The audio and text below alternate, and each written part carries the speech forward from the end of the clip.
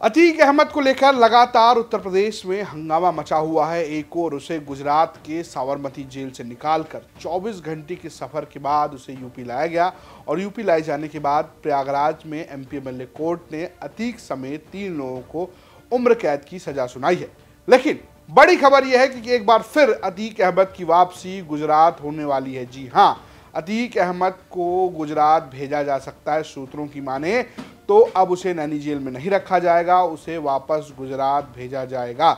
ये दावा अतीक अहमद के वकील भी कर चुके हैं। अतीक अहमद के वकील का भी ये कहना है कि उसे वापस गुजरात भेजा जाएगा। और साथ ही साथ ये भी कहा जा रहा है कि कोर्ट में अतीक ने इस बात का दावा किया, इस बात की गुजारिश की कि उसे यहाँ ना रखा जाए, उसे वापस गुजरात के साबरमती जेल भेज दिया जाए। आपको बता दें कि प्रयागराज के एमपी मल्लिक कोर्ट ने अतीक समेत तीन लोगों को उम्र कैद की सजा सुनाई है ये मामला राजू पाल हत्याकांड के मुख्य गवाह उमेश पाल के अपहरण का था, जिसमें अपहरित करके उनके साथ जो बयान है वो पलटवाया गया था खुद। इसमें उमेश पाल ने एक तरीके से केस दर्ज करवाया था और उन्होंने ये आरोप लगाया था कि जब वो गवाही देने जा रहे थे, उससे पहले ही अतीक अहमद समेत कई लोग आए और उनको उठा ले गए और उसके बाद उन्हें प्रताड़ित किया गया, उन्हें करंट दिया गया और उसके बाद एक बयान पढ़वाया गया और कहा गया कि अगर आप अगले दिन ये बयान नहीं पढ़ेंगे तो आपको इसका अंजाम भुगतना पड़ेगा। इसके बाद वो उमेश पाल अपनी गवाह से, गवाही से पलट गए, मुकर गए और हालाँकि जो केस उन्होंने अपहरण का दर्ज किया, अब उसमें सुनवाई करते हुए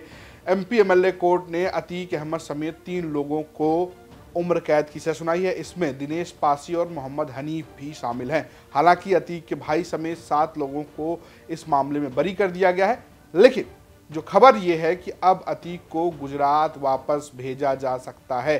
सूत्र ये कह रहे हैं कि नैनी जेल में रखने का आदेश नहीं मिला है, उसे वापस गुजरात की जेल भेजा जा सकता है।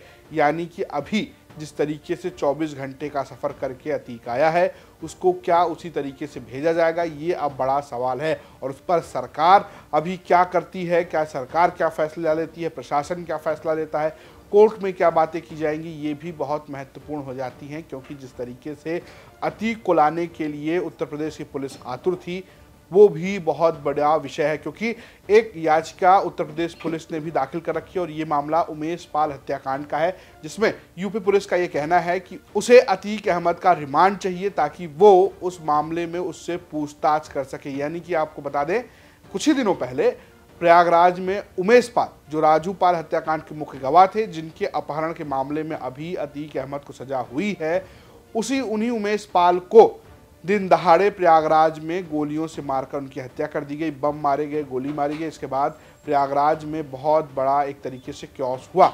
अब उसी मामले में पुलिस ने याचिका दाखिल कर रखी है कि इस मामले में पूछताछ के लिए दिया जाए। अगर रिमांड दिया जाता है तो क्या उसके बाद भी उसे गुजरात जेल भेजा जाएगा? ये बहुत बड़ा सवाल है और दूसरा बड़ा सवाल ये कि किस तरीके से अतीक अहमद को गुजरात भेजा जाएगा? क्या उसे वापस से गाड़ियों में बिठा के रास्ते की जिस जैसे वो आया था, वैसे वापस भेजा जाएगा?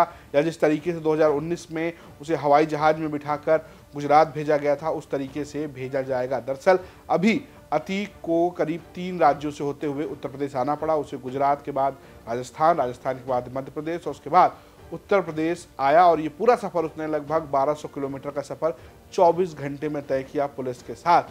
अब बड़ा सवाल है कि आखिर क्या अतीक वापस गुजरात जा रहा है? सूत्रों की माने तो जी हाँ अतीक को वापस गुजरात जेल भेजा जाएगा। फ़िलहाल अतीक से जुड़ी तमाम बड़ी खबरें आपको देखने को मिलती रहेंगी। यूपी तक पर देखते रहे यूपी तक, नमस्कार।